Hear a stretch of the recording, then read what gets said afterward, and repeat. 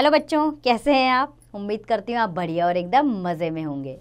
बच्चों, आज हम पढ़ेंगे संज्ञा। संज्ञा क्या होती है? बच्चों, संसार में प्रत्येक वस्तु की पहचान उनके नाम से होती है। संसार की कोई भी वस्तु ऐसी नहीं है जिसका नाम ना हो। यही नाम क्या है? संज्ञा कहलाते हैं। अर्थात, नाम ही संज्ञा है। सामने हमारे चित्र हैं, उनके ज़रिए जाने।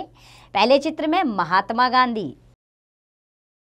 दूसरे चित्र में क्या है? कुर्सी।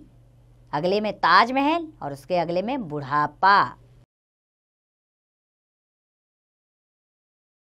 तो बच्चों, इन चित्रों के आधार पर देखिए। जैसे महात्मा गांधी एक व्यक्ति का नाम है और कुर्सी एक वस्तु का नाम है, निर्जीव चीज़ है। ताजमहल एक इमारत का नाम है और बुढ़ापा, भाव एवं अवस्था है। तो ये सभी शब्द क्या हैं? संज्ञा कहलाते हैं।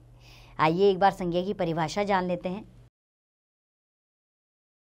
किसी व्यक्ति, वस्तु, स्थान या भाव के नाम को संज्ञा कहते हैं। अब हम जानेंगे संज्ञा के भेद। बच्चों, संज्ञा शब्दों को नामों एवं गुणों के अनुसार तीन भेदों में बांटा गया है। पहला है व्यक्तिवाचक संज्ञा, दूसरा जातिवाचक संज्ञा और तीसरा है भाववाचक संज्ञा। सबसे पहले समझते हैं व्यक्तिवाचक संज्ञा क्या है। जो नाम किसी विशेष व्यक्ति, जैसे नेहरू जी, चित्र दिया गया है हमारे सामने।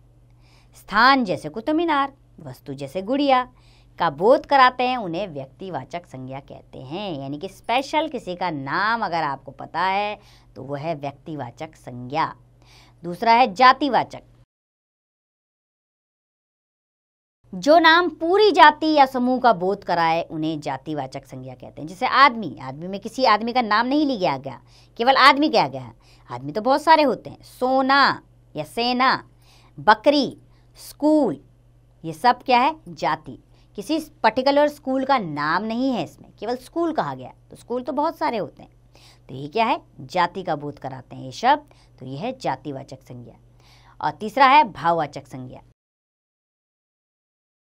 जो नाम दिखते नहीं, जिन्हें हम छू नहीं सकते, केवल महसूस करते हैं, उन्हें भाववाचक संज्ञा कहते हैं। जैसे बुढ़ापा, हरियाली, हंसना, यानी फीलिंग्स तो ये क्या है? भाव। हमारे अंदर उठने वाले भाव हैं। तो ये क्या है? भाववाचक संज्ञा है। आइए, कुछ अन्य संज्ञाएँ हैं, उनके बारे में जान लेते हैं। जैसे व्यक्तिवाचक संज्ञा में दिनों, महीनों के नाम, नदियों, त्योहारों, खेलों, देशों, इमारतों, शहरों के नाम आते हैं। और जातिवाचक संज्ञा में फल, सब्ज़ी, पशु पक्षी, वृक्ष, खिलौने, बाग, बगीचे, आदमी, इनके नाम आते हैं। और भाववाचक संज्ञा में सुख, दुख, दर्द, आनंद, क्रोध हँसी, खुशी मिठास स्वादिष्ट, इनके नाम आते हैं। अब है इसमें जानने योग्य बातें, इन्हें जान लेते हैं जिसे संसार की प्रत्येक वस्तु का कोई ना कोई नाम होता है और वो संज्ञा होती है। संसार की सभी वस्तुएँ संज्ञा होती हैं। व्यक्ति तथा वस्तु की पहचान संज्ञा यानी कि उसके नाम से होती है। आइए ध्यान देने योग्य बातें हैं इसमें, इस पाठ में, इन्हें जान लेते हैं। जैसे किसी व्यक्ति, वस्तु, स्थान या भाव के नाम को संज्ञा कहते हैं। संज्ञा शब्द तीन प्रकार के होते हैं, व्यक्तिवाचक संज्ञा, जातिवाचक संज्ञा और भाववाचक संज्ञा। तो उम्मीद करती हूँ बच्चों, आपको संज्ञा समझ आया होगा, आपने समझ लिया होगा कि संज्ञा किसे कहते हैं और उसके भेद भी जाने हैं।